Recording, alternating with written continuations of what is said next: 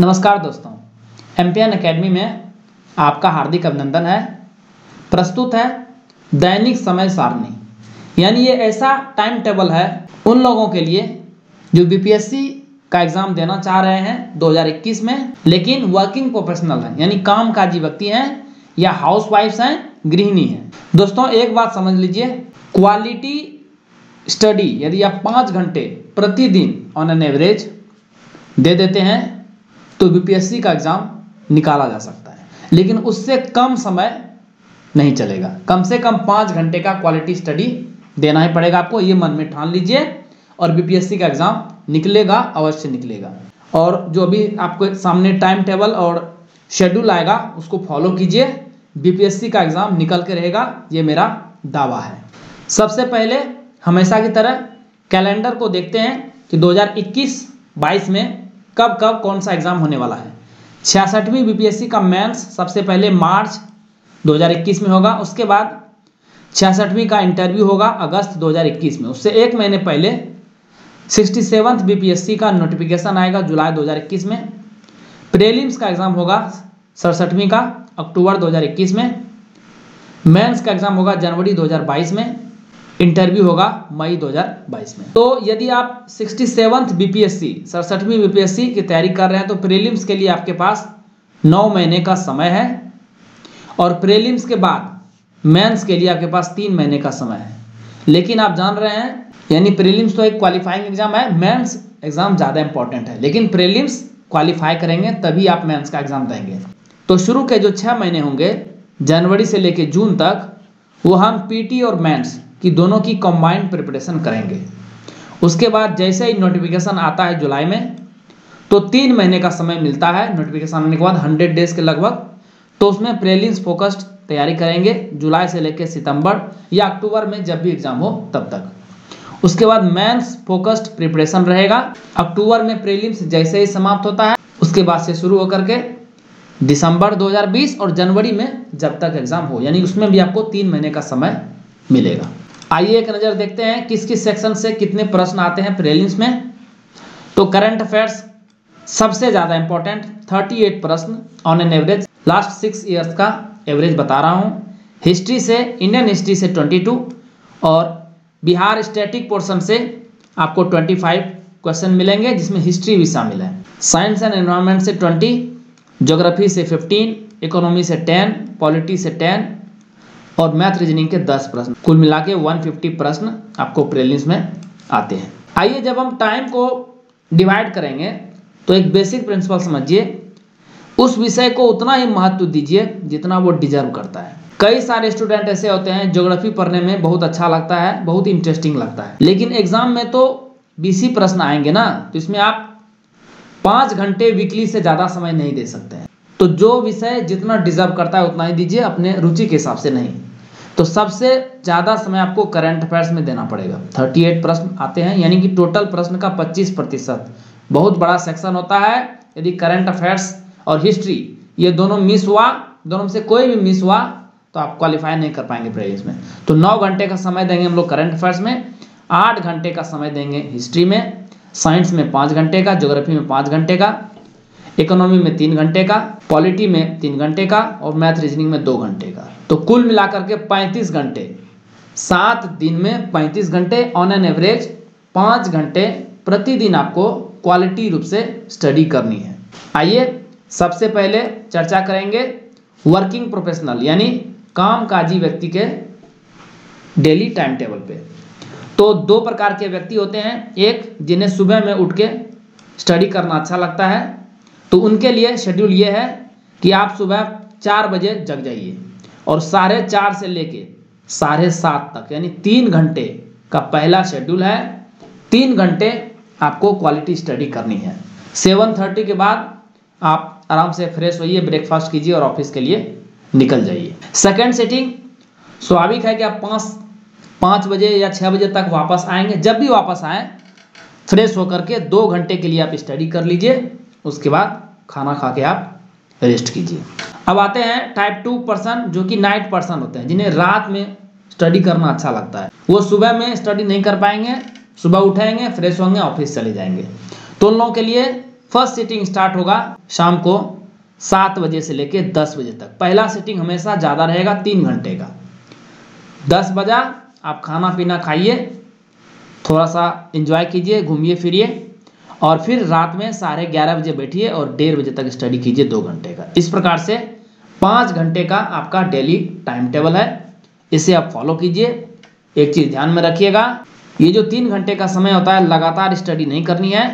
चालीस मिनट के बाद पाँच मिनट का ब्रेक लीजिए उसमें आप। फ़िज़िकल एक्सरसाइज कीजिए, थोड़ा टहल लीजिए, जिससे कि ऑक्सीजन आपके ब्रेन में जाए और खाली पेट स्टडी नहीं करना है। आप थोड़ा बहुत ब्रेकफास्ट कुछ खा के स्टडी कीजिए। तो ग्लूकोज और ऑक्सीजन इन दो तत्वों की मौजूदगी रहेगी आपके ब्रेन में तो आपका ब्रेन एक्टिवली ज़्यादा काम करेगा। इसमें से कोई भी एक चीज़ की कमी रही तो ब्रेन उतना एक्टिव रहेगा नहीं कंसंट्रेशन आपका बन नहीं पाएगा, और आपको जो भी आप स्टडी करेंगे, वो आपको याद नहीं रहेगा।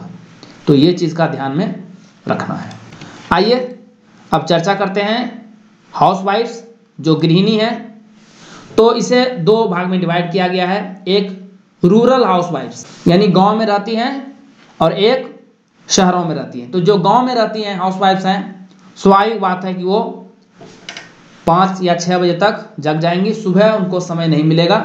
तो सुबह का समय आप आराम से खाना पीना बनाइए फैमिली के लिए समय दीजिए, घर को। लेकिन जैसे साढ़े आठ बजता है, आपका काम आठ बजे तक फिनिश हो जाएगा। आठ बजे के बाद आधा घंटा रेस्ट कीजिए और साढ़े आठ से लेकर साढ़े ग्यारह तक तीन घंटे का पहला आप सेटिंग बनाइए। घर में फैमिली मेंबर्स को बोल दीजिए। आप एक रूम में पैक होकर के आराम से आप स्टडी कीजिए। तो तीन घंटे का पहला सेटिंग लगेगा आपका। सेकेंड सेटिंग लगेगा एट थर्टी से लेके टेन थर्टी पी तक। यानी रात में खाना पीना जल्दी बन जाता है गाँव में। तो आठ बजे तक आप खाना पीना बना करके साढ़े आठ से लेके साढ़े दस, दो घंटे स्टडी कीजिए। तो इस प्रकार से आपका पाँच घंटे का शेड्यूल हो गया। जो शहरों में रहती हैं, स्वाभाविक बात है कि थोड़ा सा देर से जगती हैं, लोग रात में भी देर से खाना खाते हैं। तो उनके लिए फ़र्स्ट सेटिंग होगा, आप नौ से लेके साढ़े नौ बजे तक सारे काम निपटा दीजिए, आधे घंटे आप फ्रेश हो लीजिए, और दस से लेके एक, तीन घंटे का पहला आपका शेड्यूल है। जो कि आपको स्टडी के लिए देना है। सेकेंड सेटिंग में आप रात में नाइन ओ क्लॉक तक सारे काम फिनिश कर लीजिए।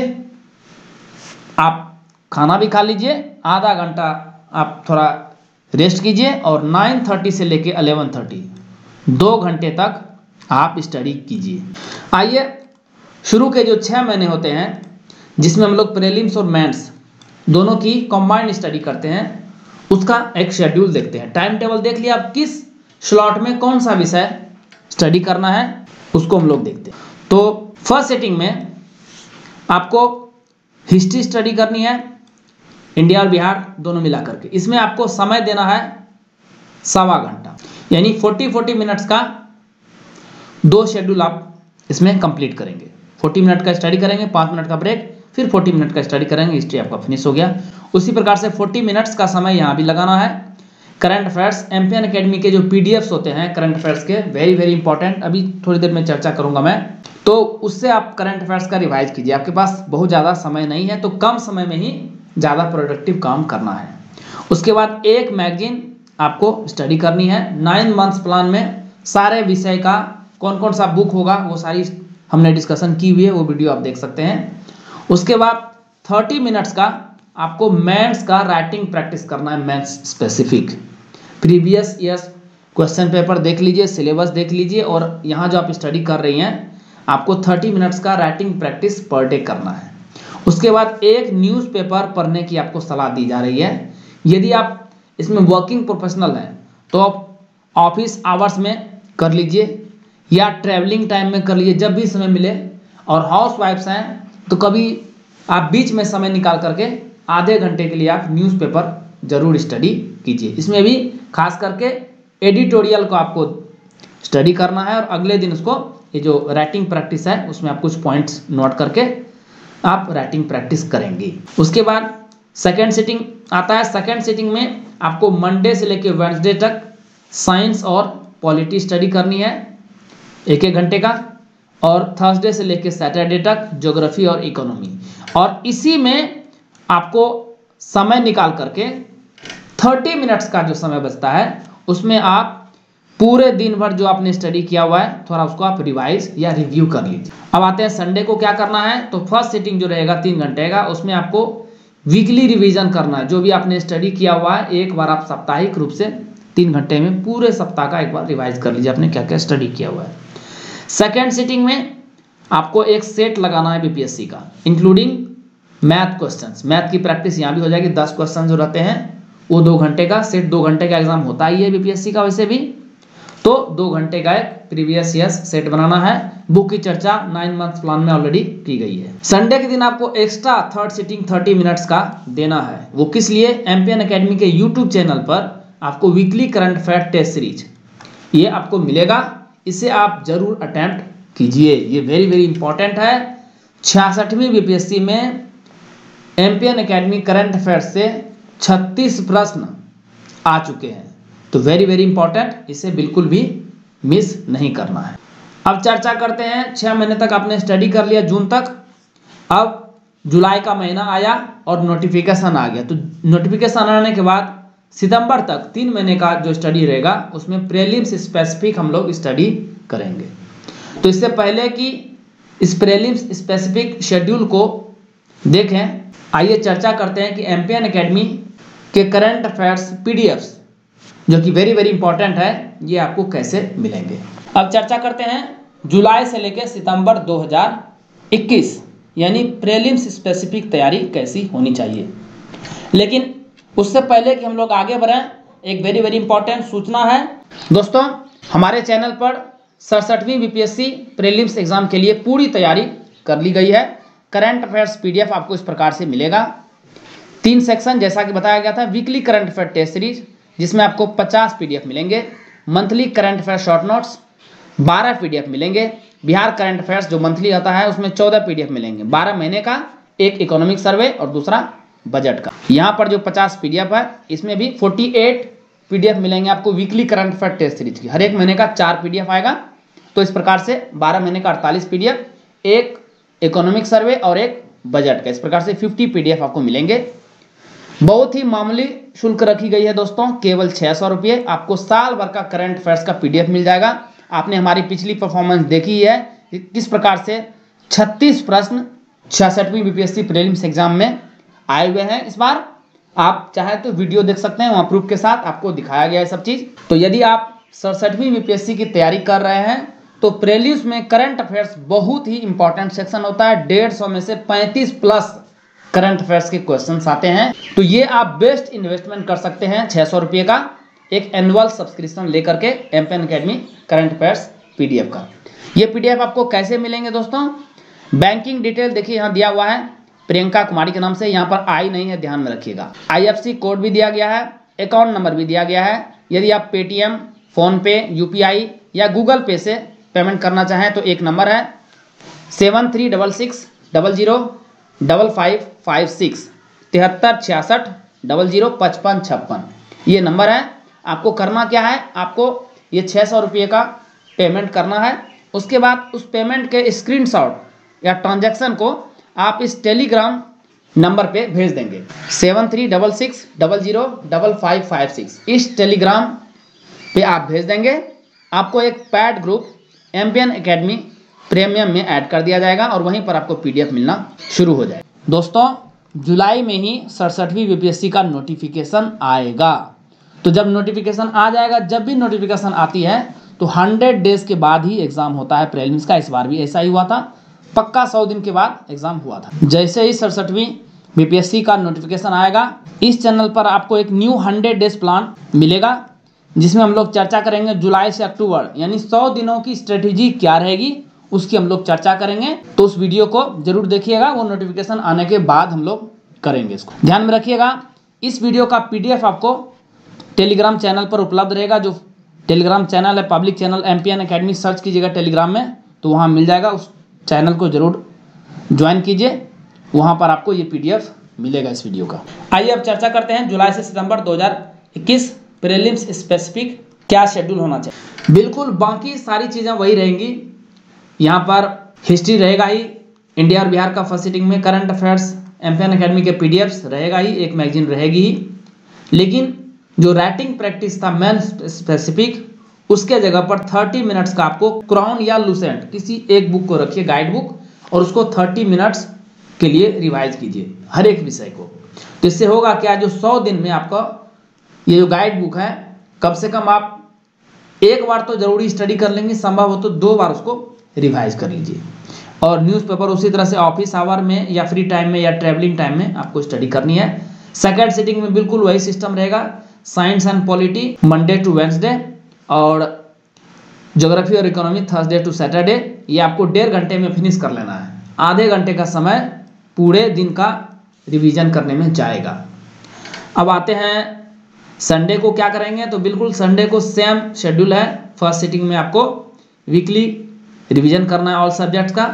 सेकंड सिटिंग में सेट एक जारी रहेगा। बीपीएससी का प्रीलिम्स का। थर्ड सिटिंग में एक्स्ट्रा टाइम निकाल करके आपको एम पी अकेडमी के यूट्यूब चैनल पर weekly current affair test series को ज़रूर देखना है, भाग लेना है इसमें।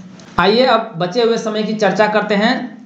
आपने प्रीलिम्स का एग्ज़ाम दे दिया, चाहे वो छठवीं का एग्ज़ाम दिया हुआ हो या सड़सठवीं का तो मेंस के लिए आपको तीन महीने का ही समय मिलेगा। आपको प्रयास करनी चाहिए कि आप फुल टाइम स्टूडेंट बन जाइए। कोशिश कीजिए कि ऑफ़िस से छुट्टी ले लें, सौ दिनों के लिए। या हाउस वाइफ्स हैं तो घर में बोल दीजिए कि सेपरेट होकर स्टडी करना चाहते हैं, घर का काम आप नहीं करेंगे इतने दिनों तक, बहुत मिनिमाइज वर्क को कर दिए कई ऐसे जॉब होते हैं जिसे आप छोड़ नहीं सकते, या घर के काम में और कोई हेल्प नहीं कर रहे हैं, मजबूरी है आपको कि पाँच घंटे ही स्टडी करनी है तो आप ये टाइम टेबल फॉलो कीजिए। फ़र्स्ट सिटिंग में जीएस पेपर वन और ऑप्शनल को देखिए, यानी तीन घंटे का समय है तो डेढ़ घंटे का समय आपको जीएस पेपर वन के लिए लगाना है, और ऑप्शनल के लिए डेढ़ घंटे का समय फिर सेकेंड सेटिंग में आपको डेढ़ घंटे का समय जीएस पेपर टू के लिए और आधे घंटे का समय लगाना है जनरल हिंदी, सामान्य हिंदी के लिए। संडे के दिन आपको क्या करना है? रिवाइज कर लेना है। पूरा जो आपने सप्ताह में जो भी स्टडी की हुई है, सभी को रिवाइज कर लेना है। सेकेंड सेटिंग में क्या करना है आपको? दो घंटे का जो समय होता है, उसमें एक सेट प्रैक्टिस लगाना है आपको। Mains specific previous years question ले लीजिए आप। उसमें से आप सेट प्रैक्टिस लगाइए। करंट अफेयर्स को छोड़ करके, क्योंकि करंट अफेयर्स तो उस समय का पूछा गया वो रिलेवेंट नहीं है। और थर्टी मिनट्स का आपको करंट अफेयर्स का मैगजीन का आर्टिकल आपको अपने शब्दों में लिखना है। तो कैसे करेंगे इसको? फ़र्स्ट संडे को आपको जीएस पेपर वन का प्रैक्टिस सेट बनाना है। सेकंड संडे को जीएस पेपर टू का। थर्ड संडे को ऑप्शनल का बनाइए और फोर्थ संडे को हिंदी का कीजिए, छोटा होगा। और साथ साथ में रिव्यू कर लीजिए होल मंथ का कि पूरे महीने के दौरान आपकी तैयारी किस लेवल पे जा रही है, कुछ कमियाँ हैं तो उसे दूर कीजिए। दोस्तों, यदि आप इस डेली रूटीन और शेड्यूल को फॉलो कर लेते हैं क्वालिटी टाइम दे देते हैं तो आपको बीपीएससी में सफलता से कोई नहीं रोक सकता है। क्योंकि ये जो टाइम टेबल था, ये जो शेड्यूल था, बिल्कुल इस साइंटिफिक तरीके से बनाया गया है। इसमें जीवन के सभी एस्पेक्ट्स का ध्यान रखा गया है। वीडियो देखने के लिए बहुत बहुत धन्यवाद। मैं आपसे कामना करता हूँ कि आप बीपीएससी में इस बार 2021 में सफल होके दिखाइए।